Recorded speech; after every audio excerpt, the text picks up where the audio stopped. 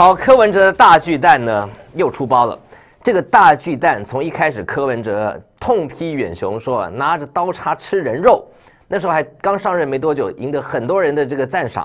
好，那个时候呢，悄悄的把五大弊案，瞬间呢就变成五大案。五大案之后呢，一下子就没了，就差没有在台北市政府表扬五大案。然后不管是马英九啦、李树德啦、这个呃赵腾雄啦，这几个案子下来呢，全部都纵放，这也就罢了。在台北，我相信经过这个光复南路、市民大道、中华东路，你去看大巨蛋已经盖好了。这个从一开始增审委员就出问题的大巨蛋，虽然那是前朝的事情，从马英九开始，结果到现在呢，柯文哲继续去护航远雄，护航的证据一个一个浮上台面。接下来这一段质询是台北市议员简淑培质询柯文哲，大家看好哦，原来刀叉吃人肉是这么一回事啊！我跟你讲哦，如果要晃的话啊你就九十分钟直接晃，你不要剪一段一段。没关系，因为我没有办法九十分钟给你。如果没关系，你如果需要我给你，因为很简单，我咨询过林周明。也指控过你，连李文忠把他叫来问问看都没有，我就告诉你李文忠的真面目是什么。我到时候我没有，我告诉你讲很简单呐，吼，这个提供给我的人，他就只有给我七段的引导。这个我问过林周明，我把这录音带拿给他看，我也问过他，跟十一月二十九号的开会现场是不是一致？他说是。我跟你讲哦，所以我今天虽然没有完整的录音档，但我今天要让你听听看台北市政府的官场现行记。没有，我跟你讲哦，如果有九十分钟的录音录音带呢，你要拿剪辑段出来，我觉得这个这是不公平的。还有一点呢，在我们市政府里面，你有没有看过我们早上开晨会，瞪一瞪都够来，来，大声一点。这样弄是啊，我我我今天不是我要，你是你不知道这个，我不知道这个是，如果是这样，我一定把它这样讲啦。那那我会把它变成生气来，来你坐坐坐。这个东西我们再做再大声一点。这个东西不能这样。今天在座，一定要解决一些事情，也也不瞒讲白一点，我规矩我讲白一点，一八号二十二月十八总辞，对不对？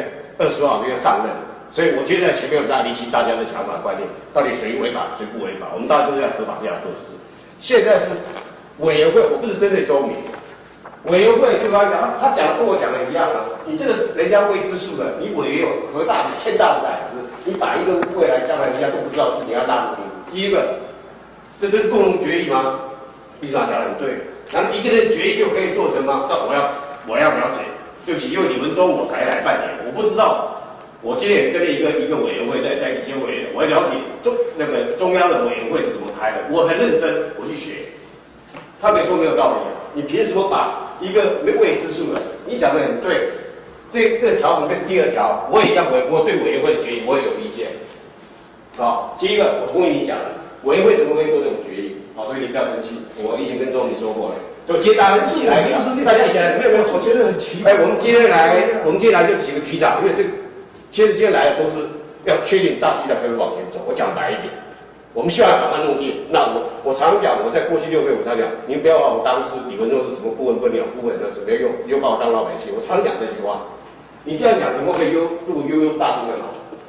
这需要专家吗？我不认为，这是常识。对不起，我就直说了。所以你先不要那么哦。第二点，这点也有关，跟你讲了，这逻辑完全一样。你。一次三辆，最多下两两百四十辆的车。你说进来这边，所以要整需要整需要评估。我跟你回答那，那如果能经过那个国际嘛，那我要整体评估啊。我也极其以为不可。我说各位局长，你这个或者这个下来以后，你从这边下车，这个车从这边下，所以要整体评估。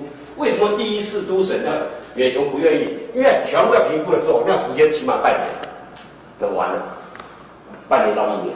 因为他要去算嘛，本来过去的防灾是从这里面防灾嘛，就都都委会一弄，从这边上下车，就算你全部一下两千人下来要对你全需要评估，这我认为比长时间要委屈吧，这我也跟周围报告过了。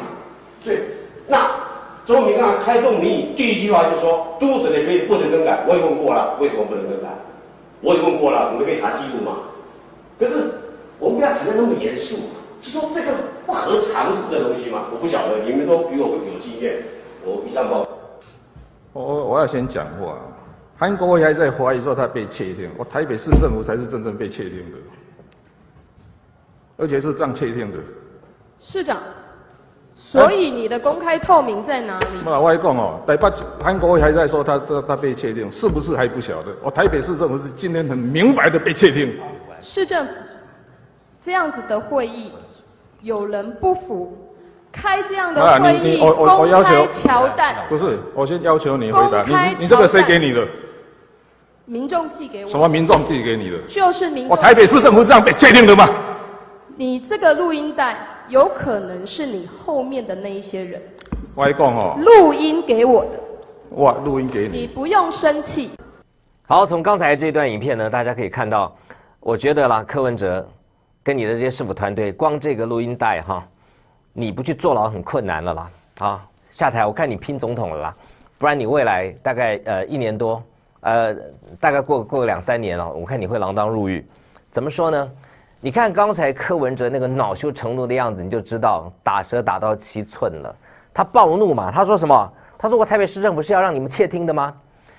很简单了，先问啊这段话的内容有没有涉弊案，好不好？再来讨论说这个算不算窃听？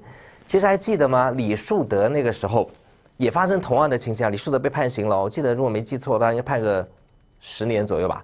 好，李树德当初这个录音带是怎么来的？因为很简单嘛，在这整个过程当中，他发现马英九你可能违法了，但是我们这些做公务人员的，要按照你的方法违法呢，到头来你们一定跑掉，最后坐过坐牢的是我们这些余文们嘛。所以每一个公务人员都懂得录音自保，这个做法是对的，因为长官要你做违法的事情，那你总要有长官要你违法的交代嘛。有些比较有风骨的人，我就不干了，我辞职了，我就走人了。或者我被调到闲差去都没关系，但我坚持不违法。可是有些人爱做官，没办法，所以他们就录下来。那这个东西叫窃听吗？可以叫窃听吗？我觉得比较比较精准的做法，应该叫做官员自保的逃生门。